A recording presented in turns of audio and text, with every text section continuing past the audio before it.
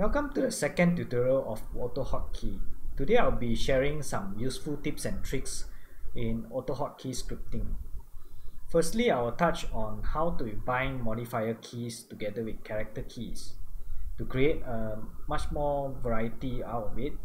The second one, I'll be binding the entire macro script into a specific window or app. Okay, what are modifier keys to start with? Modifier keys are keys such as shift, alternate, and control. These are the three main uh, modifier keys that we can use together with uh, AutoHotkey. So in order to bind the modifier keys together with uh, character keys, we will use symbols to represent the modifier keys. For example, shift key is represented by the plus sign. The alt key we will represent using exclamation mark and the control key we will be representing using the caret character. Okay, so let's just comment this off so that it doesn't get processed uh, by AutoHotkey as script. So I have a script in mind which is uh, the what I call the generic uh, quick dash so I'll be scripting it using a modifier key shift alongside with the character V. So shift V will trigger a quick generic dash. Okay?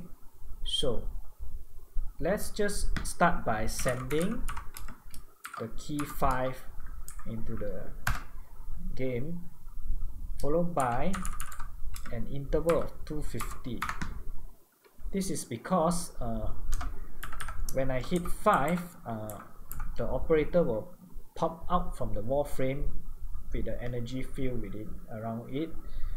Then I will send C key which is the crouch and in in warframe if you are the operator mode you will be in the void mode okay? So uh, doing so I will have a slight interval of 150 I will then send the space bar which is the dash forward. So shift V will now do my quick generic dash. Okay? So let's just test it out I already have a script running previously here so I'll just end it. I'll just run this script here called first macro. Okay it's running right now. So let's test it in warframe. I will commence the test shift V. See it works. Let's try shift V it works okay. Then I'll use the Q which is bullet jump which is the two macro that I introduced uh, in my AHK file. Okay. Let's just get back to the code.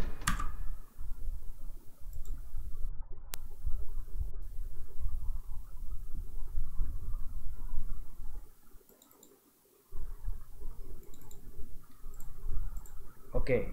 Second thing I would like to cover will be the bind uh, macro to a specific window or app. Okay as you notice when uh, this script is running our key for Q as well as uh, shift V cannot be used.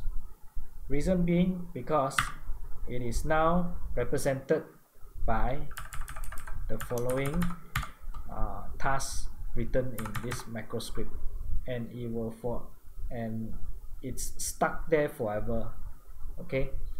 So this could be a hassle okay?